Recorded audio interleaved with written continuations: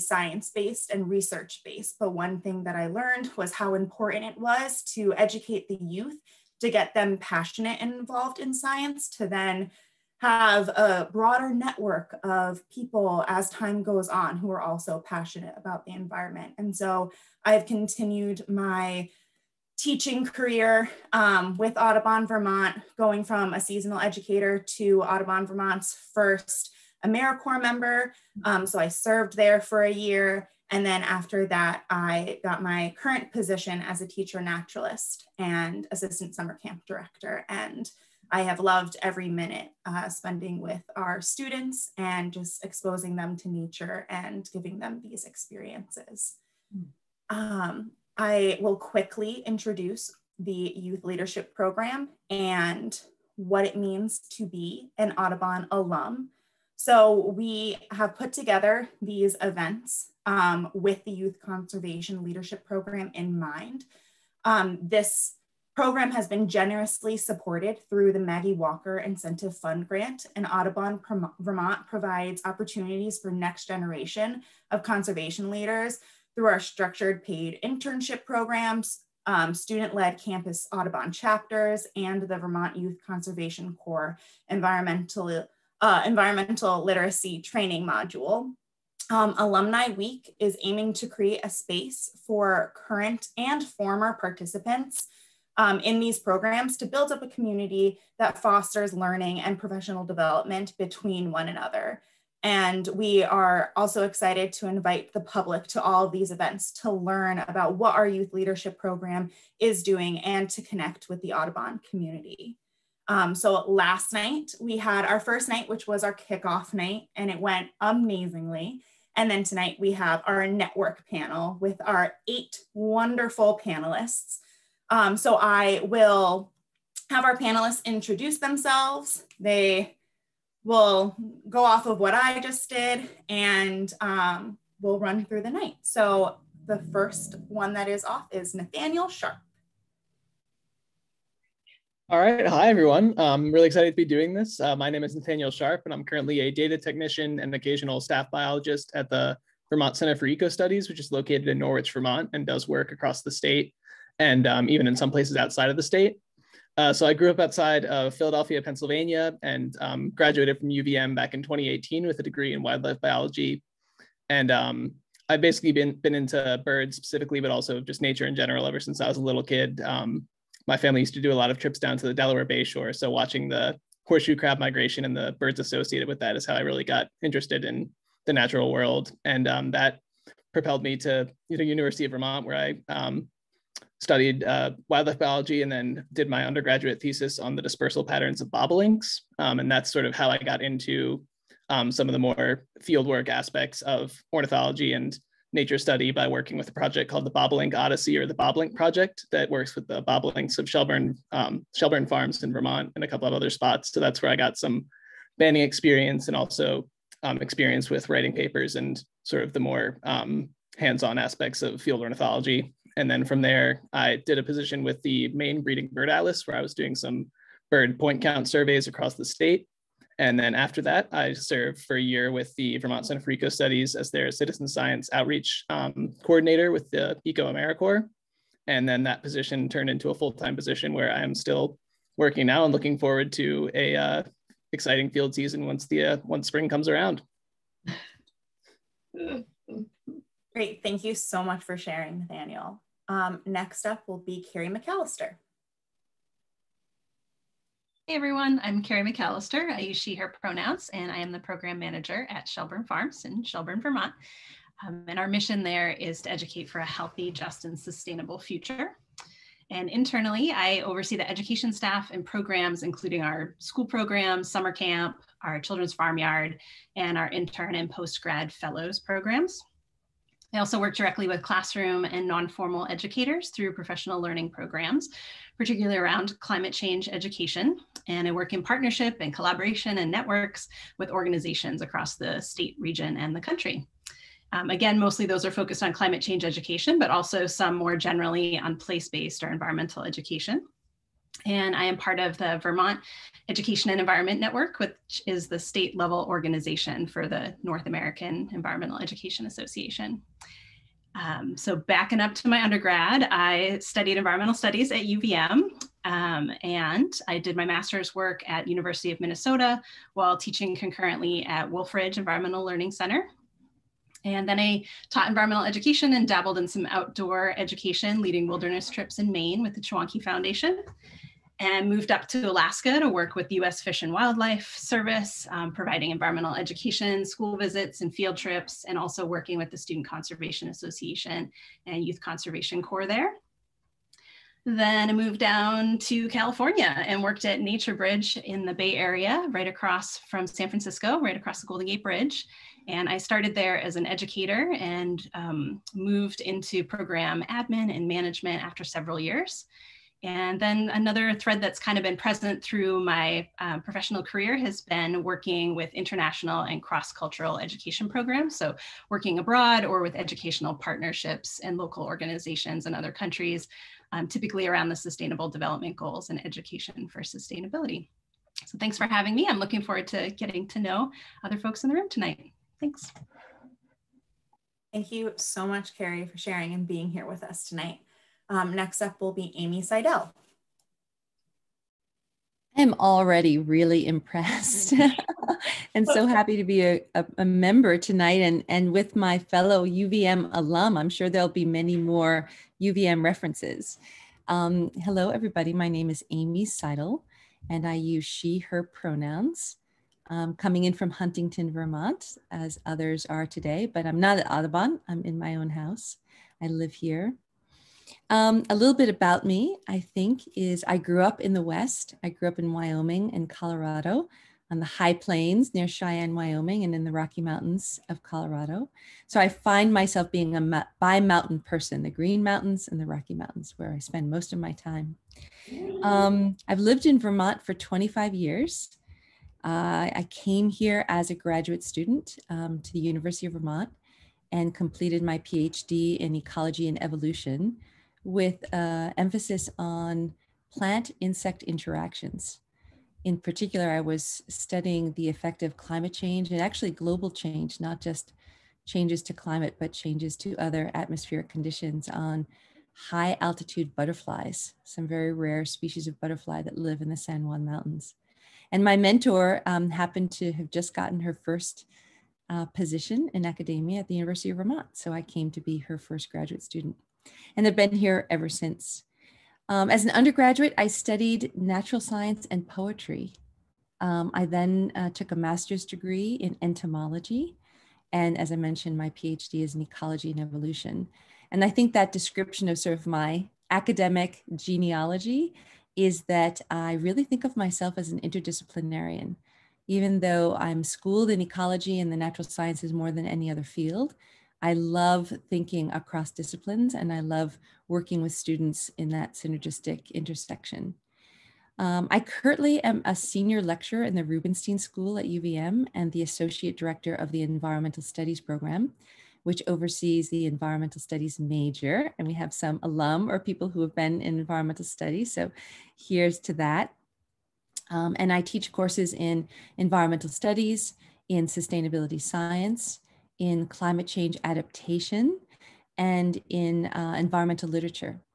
And environmental literature is a more recent addition to my professional career, but um, uh, about 10 years ago, I wrote a first book of creative nonfiction called Early Spring, which is a story and a memoir of um, what does it mean to steward in an age of warming as an ecologist and as a young mother.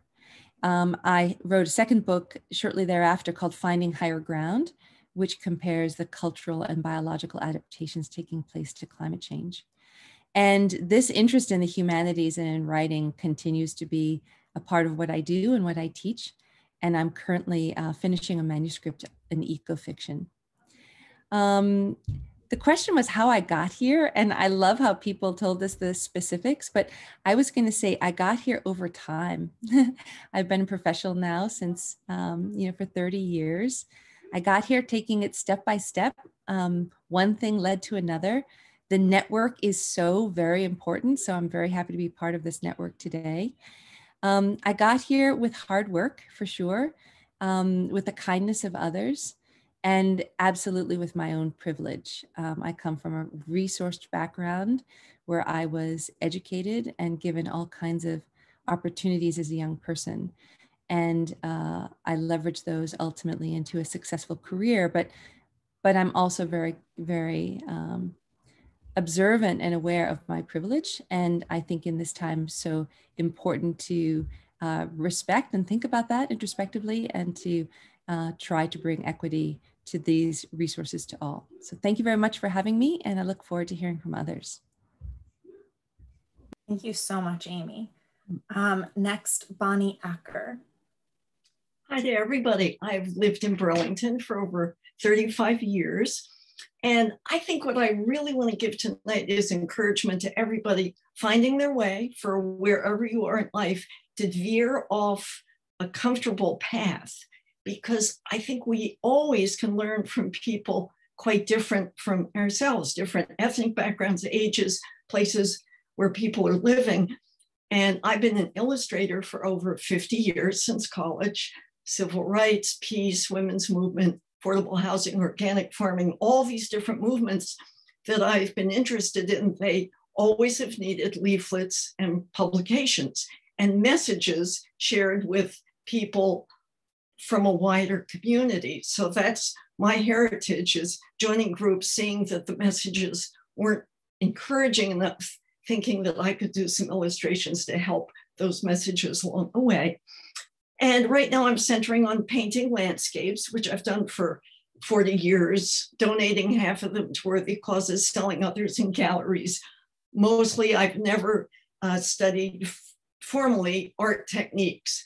And again, I'm encouraging everyone, if you have any interest in art, try to learn things off the beaten path, not from people who have very set ideas, although some people respond to that. I've always resisted set ideas and gone through my own experiments. So part of the year I paint landscapes.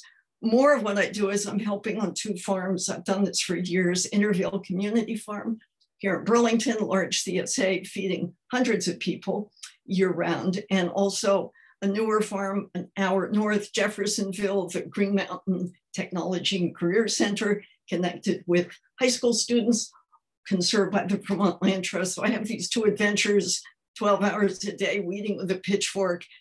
I love both of my lives, being inside doing my paintings, sometimes doing collective art projects with others, and uh, also being outside a lot of the year. Uh, so off the beaten path. And I, I guess my central idea is if we're not getting across our ideas for solving climate change and other crises, can we pull back and say, how can we reframe our ideas? Not what is wrong with the other person or people. What can we do to change? Because then I think we'll be able to reach more people. Great. Thank you so much for sharing, Bonnie.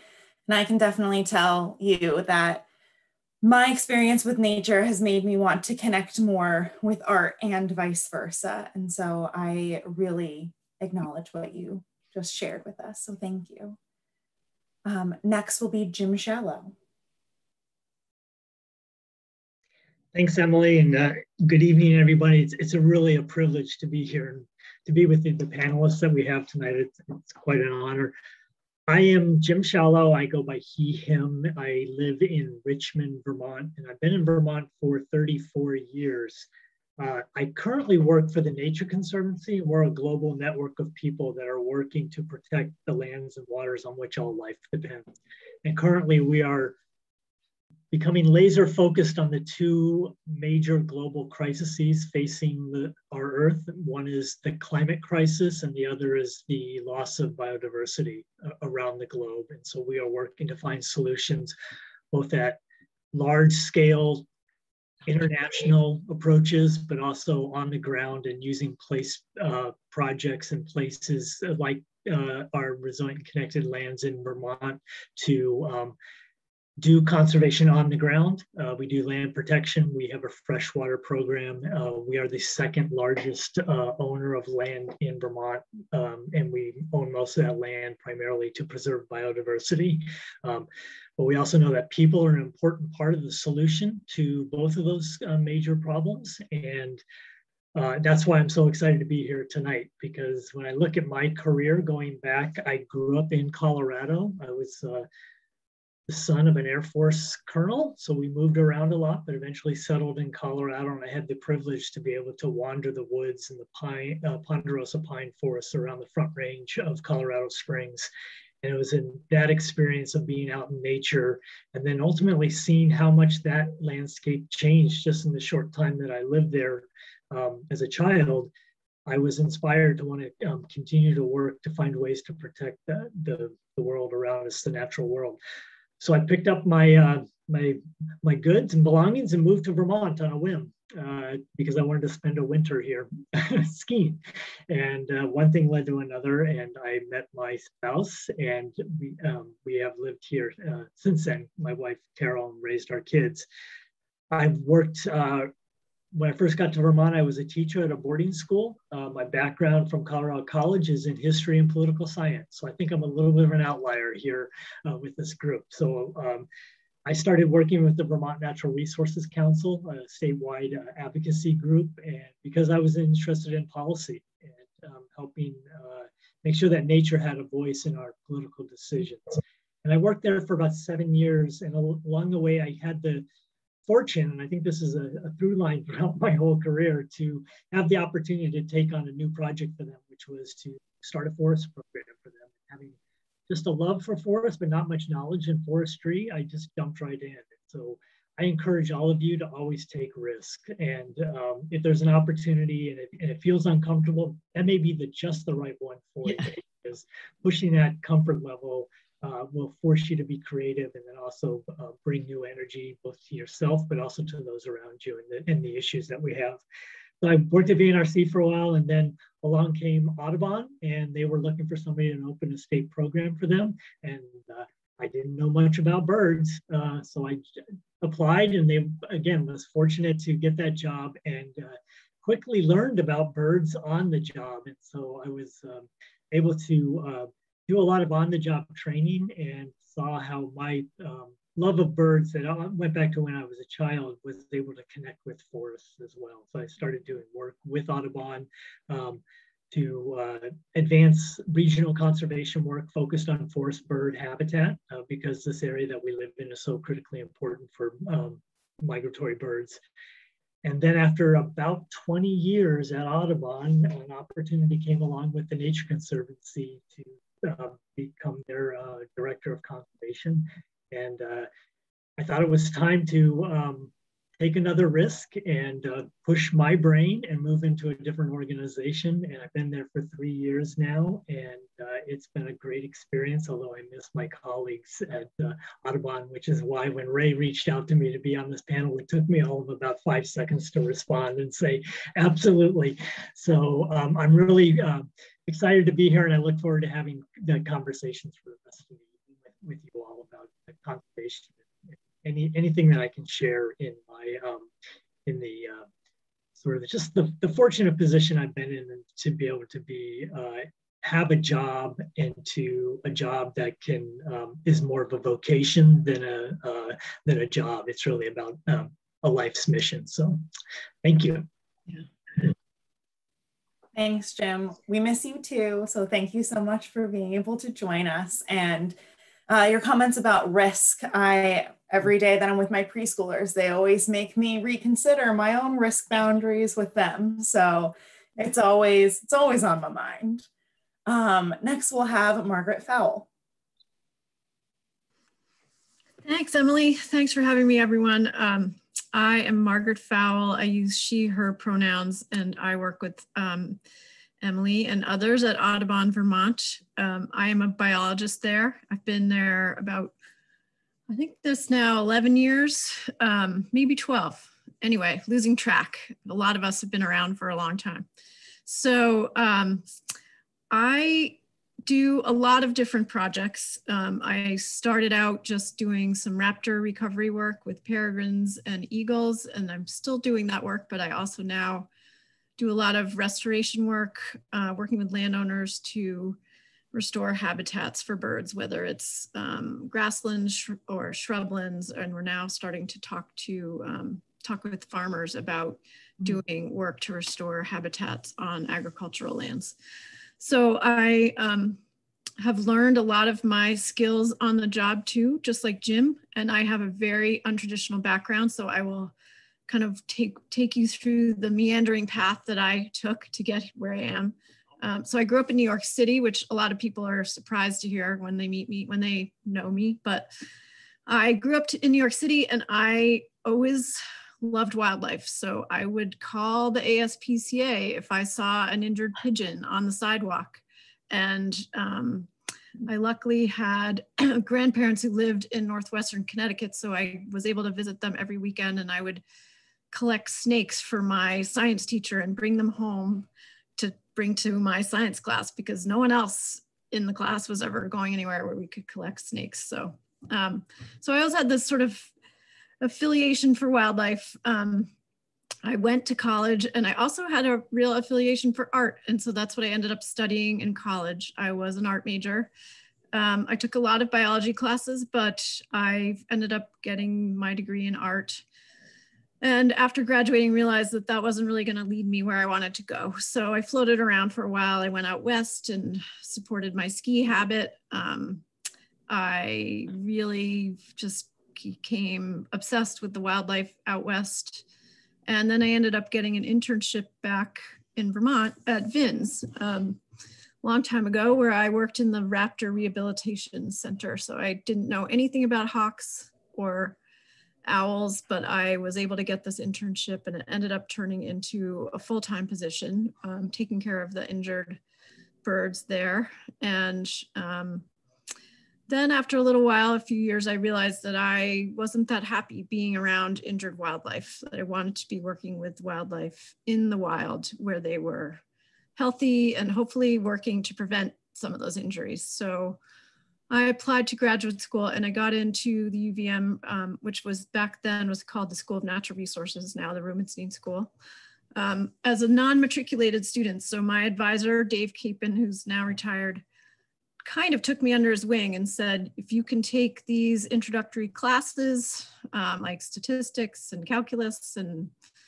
uh, some other basic ecology classes, then we'll let you continue. So I did that, found a thesis project, which was working with cormorants on Lake Champlain, which at the time were exploding. Um, and uh, got my master's degree and then ended up going back to VINS to work on their peregrine recovery project just as a seasonal person, um, found an internship at the National Wildlife Federation in between, like two sort of seasonal positions. Um, and uh, then National Wildlife Federation realized, oh, we should be, maybe we should be doing some wildlife work in Vermont. This was an office in Montpelier. Um, they were doing mostly policy work at the time. And so kind of got lucky in that I was in the right place at the right time where they wanted to take on the peregrines and stayed there for 10 to 11 years. And then they dropped the Peregrine Project and Audubon took it on. And so I kind of moved with the Peregrine Project and ended up where I am now. So um, I feel like in a lot of ways I was at the right place at the right time. And in a lot of ways I was also just willing to um, kind of put myself out there and be this non-traditional student um, to um, take some risks, just like others have said on the panel. So um, that's kind of my story and happy to answer questions when we're in smaller groups, but just wanna say that it's awesome to see all of you and some of you I know, some of you I don't, and some of you I work with and have worked with. And um, it's just great to, to have such an impressive group here. Thanks. Thanks so much, Margaret. Uh, next will be Bridget Butler. Hi, everyone. Uh, thanks, you guys, for having me tonight. It's really great to be here and see a lot of new faces and some, well, I shouldn't say old faces. Old, I don't know. Old, we'll just skip that part. I am Bridget Butler. I am also known as the Bird Diva. I own my own small business called Bird Diva Consulting, which specializes in outreach um, and programming around birds and bird conservation. Um, I didn't like birds to begin with. I really liked seaweed. And I grew up in central New York, which is hard to like ocean stuff and seaweed and dolphins and things like that when you live there. Um, but I also liked being outside all the time. And I was one of those latchkey kids that got off the bus and immediately like ditched the book bag and grabbed the bike or whatever and went into the woods. So, Margaret, I know the thing with the putting the snakes and the worms and the stuff in the pockets, right? Like my mom hated that coming home. Um, I came from a hunting and fishing family. So, um, I have a lot of that running through um, my blood and and the way that I look at the land as well. Um, and I did finally get to follow that that urge to be connected with the ocean. Um, my grandmother lived on Cape Cod, and she really encouraged me to explore. And so when I got the chance to go to school, I applied to University of New Hampshire and studied marine and freshwater biology there. So I have a bachelor's in science from from UNH. Um, after I left school, I kind of bounced around to a bunch of different Audubon centers. I worked with kids mostly um, in uh, summer camps like Emily, right? That's how we get started and we get our foot in the door a lot of times. Um, and then, uh, so I worked at the Seacoast Science Center. Um, just outside of Durham. And then later, I went and worked with Massachusetts Audubon at the gorgeous Wellfleet Bay Wildlife Sanctuary out on Cape Cod. So um, I got to be with my grandmother and do what I love so much. And there I started running um, kids programs and was the day camp director for a number of years. And that was when I was in my 20s and things got really serious really fast. And I freaked out because I was being asked to be on all these different boards. And I was like, who am I to be on their science committee for your school? And so I was like, I got to get out of here. And this is crazy because I didn't know this about Jim or Margaret. This whole skier thread is really interesting. So I decided to ditch it all. And I was told that Vermont, Jay Peak got the most snow in the Northeast. And so I was like, that's where I'm going. And I'm going to be a ski bum. So I was a ski bum for a number of years and went to New Zealand and taught skiing, but always on the side, I was doing nature stuff. I would lead snowshoe treks at night for clients at Jay Peak and teach them about the natural history there. Um, funny story about that. If you join me in the breakout room, I'll tell you a really good story from there. Um, but I really missed connecting with people. And that's when I discovered Audubon Vermont. Um, I really wanted to get back into environmental ed. And I joined the staff there. Gosh, I think it was in, I don't know, the 90s sometime. And I got to work with Jim. And I came on there as um, an education staff person and became a naturalist and then got to work on the Forest Bird Initiative that Jim talked about. And I think that was really huge for me to shift from working with kids to working with adults where like you were really seeing conservation in action. And that jazzed me a lot you guys were talking about taking risks, some of the rest of you. I think the biggest risk I ever took was to say goodbye to that job and go work for Maine Audubon off the coast of Maine at Hog Island for a year as their program director. Um, unfortunately, that program was going through a number of upheavals, and I had to then take the next risk to walk away from that.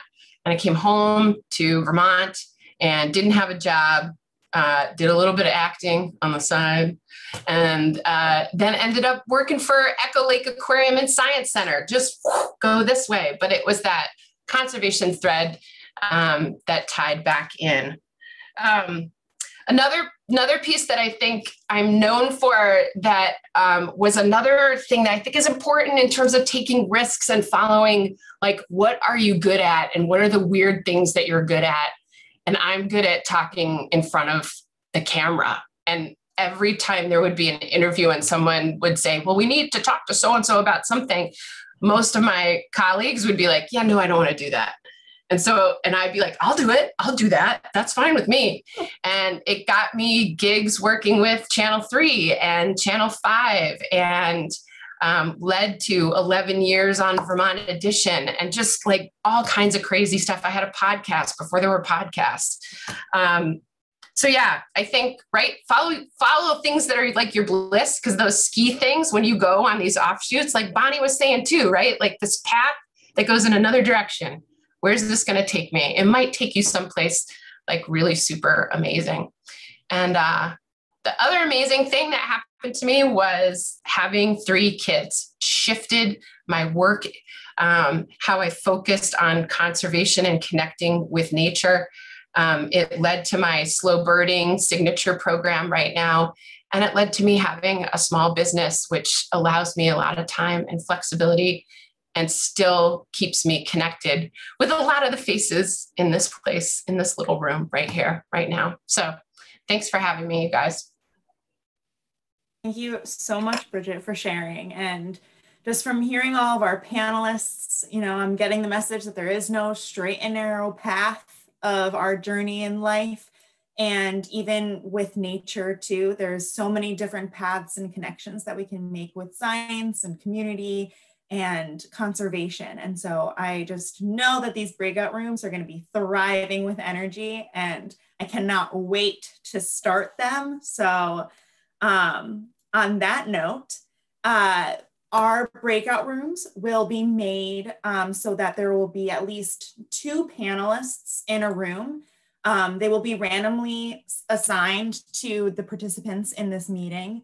Um, so you will get to enjoy 30 minutes with two panelists. Um, it's very informal. The space is for you, the participants, to be able to ask questions, share your story, hear more about the panelist's story as well.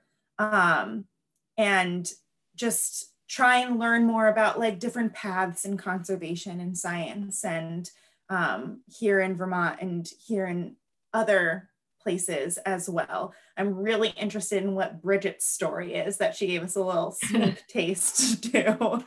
Um, so Debbie will be uh, putting us in those. She will also be giving us time warnings too on the screen. And then there will be that final like 60 seconds where it like counts down. Please stay in your room as long as you want to as well. You know, you can just take it to that last second and then it brings you back. Um, so please take this time, enjoy the conversation. And um, if you have, ugh, sorry, if you have questions for a different panelist that you might not be in their breakout room, there will be time when we come back that you can put those questions in the chat and um, I'll read them to the individual panelists as well. So we will have time for that, but I hope everyone enjoys. And if you have any issues or technical things, you can like I, like hit like a question mark or like an alert thing. And I think Debbie will be alerted and she can pop in and help out with any issues. So enjoy these 30 minutes. Thank you.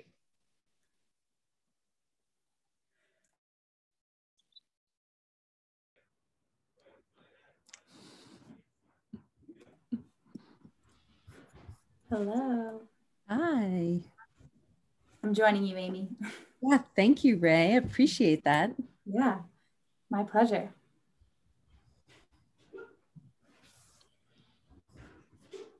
Introducing yourself a little bit. Hello, everyone. I'm so sorry. I, am late uh, today. I, I just lost completely the timeline due to the time difference between Brazil and the United States. And it's so good to see, look, we have Chavelle here, we have Emily, oh my gosh, I can't believe it. Oh, Emily, uh, and, and all other bomb folks, we have Margaret, and also, of course, Ray. Kiara, it's so nice to meet you. And well, uh, let me tell you guys a little bit about my background. I'm so honored and humbled to be here with you guys today.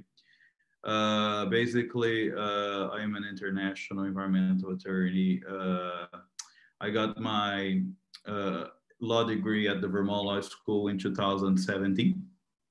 And then uh, I started moving the needle towards gaining international background towards my career. So I had the chance to work for the Center of International Environmental Law in Washington, D.C.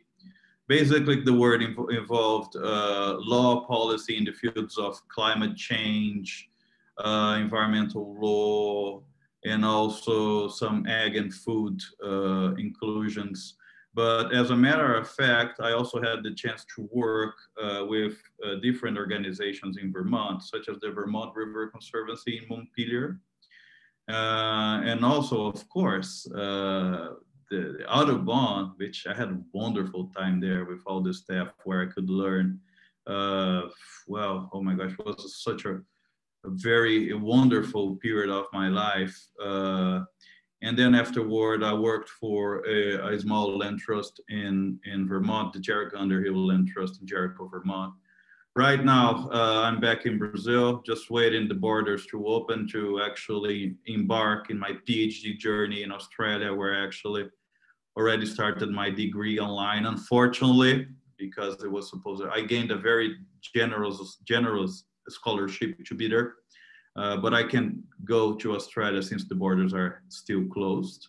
Right now, I'm working here in Brazil as a global consult consultant for the Governor's Climate and Forest Task Force, uh, which we're doing work towards the Brazilian Amazon in such different fields of climate, environmental conservation, environmental stewardship, uh, and also in the policy arena across advising the governors on how they can actually get different perspectives in using uh, different experiences uh, of different jurisdictions in a worldwide scale to help them implement better legislation in Amazon.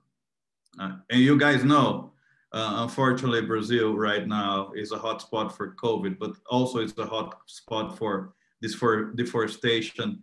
And I would say that uh, the biggest environmental challenges uh, right now rely on Brazil and most likely in the Amazon region. And it goes from deforestation to poverty and also climate change and also land degradation. And one specific thing that really delve my studies into is illegal logging. Uh, and within my PhD dissertation, I'm working in the intersection uh, of technology, law, policy, and of course, how we can further advance international environmental law towards using tracing technology to help the conservation of the species and also to tackle the most appealing environment, international environmental law issues uh, worldwide. It's not an easy task, uh, but I know with the contributions from you, well, I can get there at some point. So I'm not here to actually teach you guys anything. I'm just here to listen and to learn. And I just would like to say thank you again, Audubon, for giving me the opportunity of being here and learning with this such prestigious audience. Thank you. Thank you so much, Marcel, for being able to join with us tonight. Um, so I just want to open up the space for us to uh, have any questions that you have for other panelists that you maybe didn't um, get a breakout room with, or if you have any other questions for the panelists that you were in a breakout room with, please enter them in the chat. Um, and I will read them out as they come in. Um, so I'll give some space for that to happen.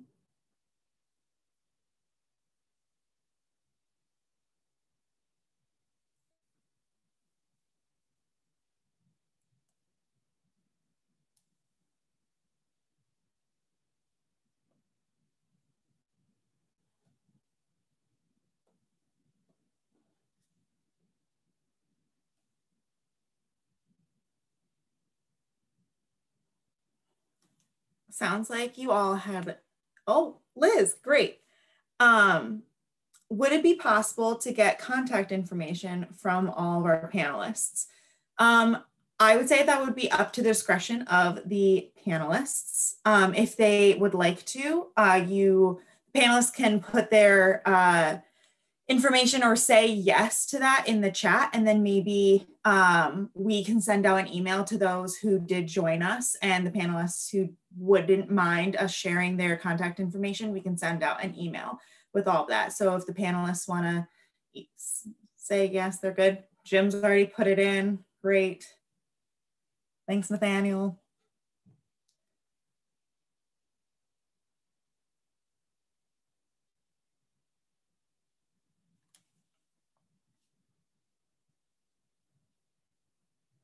Wonderful.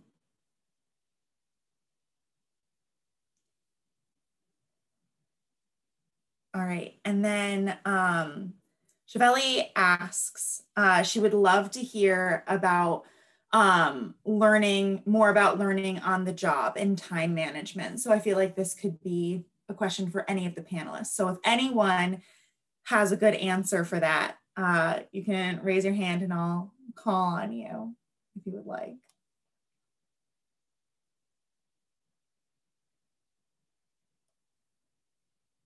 No one's good with time management. Jim. I guess I can't stand awkward silences. I, I, as everybody on the Audubon staff would know, I can't speak to time management. Um, but I, I will say that about learning on the job is, you know, I think bringing sort of fundamentals in, into your work of, you know, being able to communicate well, write well, um, a willingness to, you know, dig into research and, you know, study stuff, you know, just read everything that's coming along. And then I, you know, what I found throughout my career when I was in roles where I was learning on a steep learning curve was to find a mentor who, who will be there for you to answer questions or you know point you in the right direction. For me it, you know when i came to audubon warren king was that person for me. He was like took me out in the field and showed me how to you know what which birds are what and how to identify them. And then also you know help me navigate the uh, the intricacies of audubon internal politics which is a whole another level of, of um, uh, social science. Uh, and the same is true when I was at VNRC. I had a mentor who was actually at UVM. Uh, Dr. Carl Reidel is um, no longer with us now, but he was a he was a great mentor, even though he, you know he was on the board of VNRC. So I would say in any of those find you know when you're in that situation find a mentor or find folks that are also doing similar work you know and and, and build those networks within your organization um, and and learn from each other. Because learning doesn't always have to come down from on high right? Um, learning is about um, communication back and forth among peers as well. So that's my thought. And then on time management when you get the answer let me know. That's all i have to say Great, thanks for sharing. Bridget, did I see your hand raised before? Yeah, you can go. okay, just, just go. Um, okay, so time management, things that I've learned. I told our group that um, right now I am a pandemic homeschooling mom that's trying to run a small business and uh, yeah and and i don't even know how i do it most days but i carve out time and i prioritize things. I use a lot of post-it notes. They're like everywhere. If, if i could shift my camera around. And when i really start to freak out i like pick the things these are the things that are most important for me to get done right now.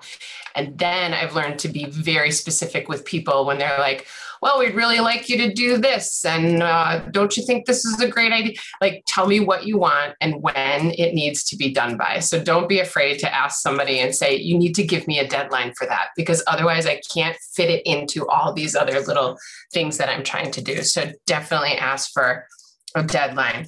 Um, the bullet journal method has worked for me hugely. If you don't know what that is, take a look at it online. You just Google bullet journaling. And it's literally since becoming a mom and a business owner, um, and in a way also head of household, I can literally, I've learned a method to keep a notebook. It's not, it's total analog. It's not with my Google Calendar and all some kind of software stuff. Um, it doesn't work. I write it down, and it, it's just a really great, solid method um, that's worked for me. And I fall out of it sometimes, and that's okay. You'll find your way back into it. Um, so those are the things that I can say about time management, Jim. I don't know if that helps you at all. Um, and there's days that it crashes and burns, and it's all right that it crashes and burns. In our little breakout group, group, we were also talking about failure and being like, yeah, that didn't work, and I'm all right with this. And these are the things that I learned from it. We need to talk about those things more. Um, what was the other part of the question? Something about uh, on the job learning. Oh my gosh, say yes to everything. I mean, within reason, right? Like, don't put yourself like way too far out there. But I think when I started, I mean, the best example I have of that is is TV and radio. When I started saying yes to that, it just snowballed into so many other things that I never even imagined possible. Um, I mean, I made I made small eight minute movies when I was at Echo that are still out there being used now. And I was the the writer, the director, the producer, and the the host. I mean, it it's just kind of I can't say it out loud and I was like, that's just strange. So say yes to things and try new things. The other thing that Margaret and I talked about with our group is grant writing. Grant writing, like build some skills around that. I didn't have it at first, and um, I got in my in a small nonprofit um, group. Um, got a job with a, a, small local nonprofit, and that became a huge part of my job. And so, learned a lot really quick. Thanks, Jim. By the way. oh, Jim up. I was like, oh my God, what do I do? Jim was one of my mentors. So there you go. Wonderful. Thanks so much for sharing, Bridget. Um, we have another question come in um, that is How has your understanding of your field or birding conservation changed since transitioning away from school? Um, has it narrowed, has it become more specific, or has it broadened? Um, and if you could be specific with this, that would be great. Margaret. Uh, I'll take a stab, Liza. Hi. Um, she lives down the road from me, so here we are in our Zoom world. Um, I so my experience with school. I'm thinking of grad school here because my undergrad was totally different, but um, was my experience with school was that it was very narrow, and that my job now is very broad. So um, I learned some skills in school that I use now and I can apply to what I do now, I, you know, do now, like in terms of using GIS or writing skills or collecting data. Um, but I use them for, you know, I, grad school, I worked on one species. It was one project um, other than the courses I took. Um, it was very narrow compared to what I do now. And I feel like what I learned there were great skills, but they weren't uh, but they were only skills that I applied to other things. They weren't skills that I actually took with me necessarily. Um, like my, my knowledge, sorry about dogs, uh, my knowledge of cormorants doesn't really have anything to do with what I do now at Audubon. Um, it's more about my ability to um, observe them and study them that and um, write about them that applies to what I do now. Hopefully that answers some of your question, Liza. Totally. Yeah. Thanks, Margaret. Hi. Thanks, Margaret. Um, would any of the other panelists like to share anything along with that question? Yeah, I'll just I'll jump in on that. Um, hi, Liza. We're sort of in a triangle, Margaret, Liza, and I here in Huntington. Um, you know when i when i started out as a young field biologist and i so it was so exciting to hear all the ways in which we all were young field biologists pretty much or young naturalist educators um, it was about sort of gaining skills and understanding the components and constituents of the forest or the of the tidal pool or, or whatever ecosystem we were in and not that i've ever left school right because i continued to live in that academic world um, those experiences are almost crystalline for me now because um, they're they're sort of the staff of life, right? To have gotten the time to be immersed in observation and phenology and in data collection and to have field books where we were just noting patterns and processes in the world um, is a is a beautiful sort of cultivation of biophilia, right? Of our love for nature and and the love for life and so as i go on and i you know sit in a lot of committee meetings or i you know do other kinds of things to organize um, students in environmental studies in a university i reflect on that time of um, the concentrated time of observation. So it's a great question, but for me, it's now when I look at birds, uh, you know, I don't think of them so much as data. I, I think of them as just this gift, right? Um, so it certainly has broadened and it's certainly the backbone of my feeling and my my passion for for stewardship and what I do with my professional life. Yeah. Well, if I can say something, I would say that uh, the great part about being in events like this is that we always speak the same language. And when we can always speak the same language, it's so pleasant to be here. But I would say that something that actually I'm thinking these days in terms of uh, trying to better.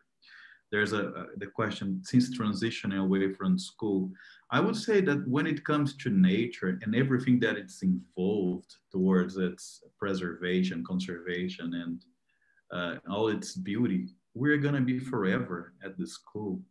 And don't you dare to think that actually uh, one is going to have the solution for the environment. That's exactly the other way around. The environment has the solution for us, and we are the ones who should listen to that and try to use our skill to point out uh, the, you know, the the the answers that there's no there's no magic formula. It depends on where you are but there are some baselines, some guidelines that you can actually apply that science can help us in that regard. So uh, these days, I have a sense that the more I try to understand nature itself, the more ignorant I feel. Because once we're living this crazy times in terms of climate change, environmental destruction, and all these catastrophes we're living these days, uh, we have to try to understand and think where are we going to? Where are we heading to? And how can we use our skills to help that? The future of mankind definitely is going to rely on how we're going to be able to provide quick solutions for those issues. But uh, I understand that it's a growing process, but it's a growing process that requires our urgent attention and try to learn with nature what the message nature is trying to address for us. Uh, and it's hard. And so the more I try to understand that, the more ignorant I feel. And I hope that at some point I can actually help more in terms of providing intelligent answers. Great. Thank you so much for sharing, Marcelo. Um, we have one final question from Tessa, and it's a great wrap up question, too. Um, so does anyone want to share if they have any particular passions or projects that are going on that they are particularly excited about? Um, and if there's any aspects of their current job that they're really enjoying currently, we would love to hear about them.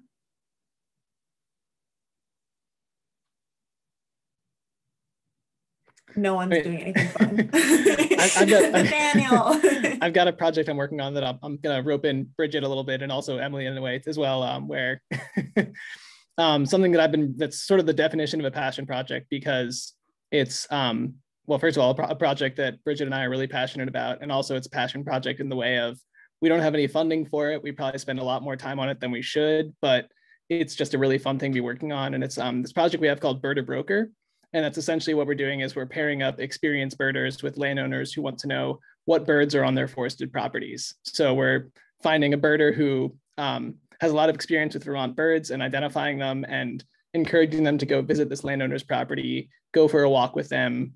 The landowner can show them what their um, forest is like, what their what the habitats are like on their property, and the birder can say, "Oh, that bird that you hear singing all the time, that's an ovenbird. That's a hermit thrush." um, there's scarlet tanagers nesting on your property, and here's why that's really neat.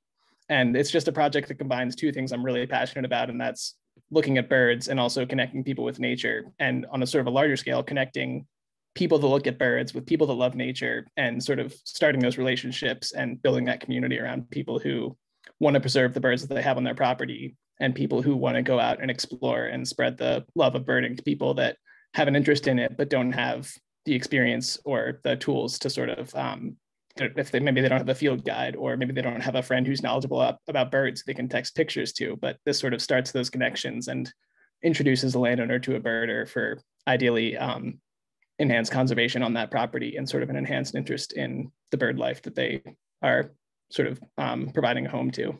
So that's been a project that I'm really passionate about. I'm excited to get out with my landowner partner and walk around the forests of Belvidere this summer.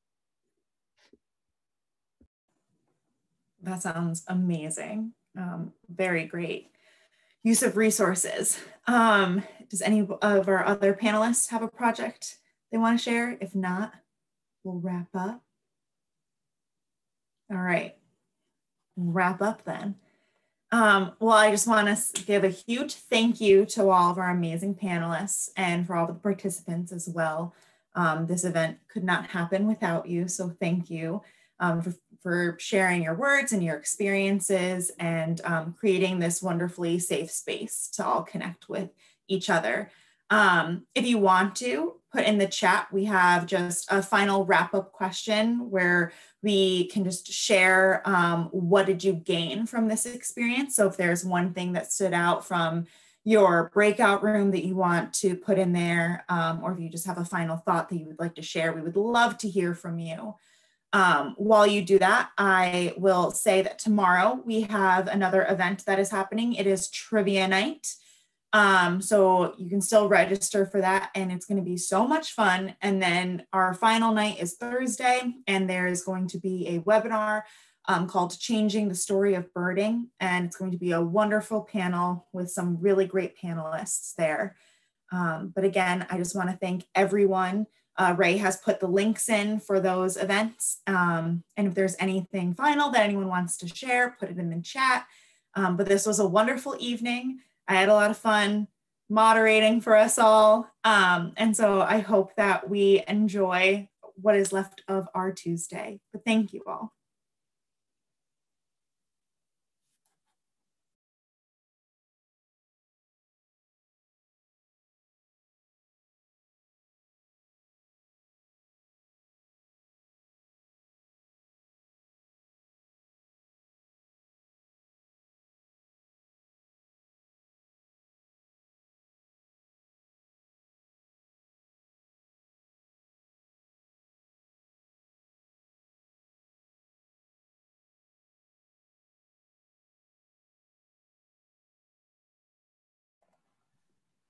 Bye, Auduboners. Bye, Jim.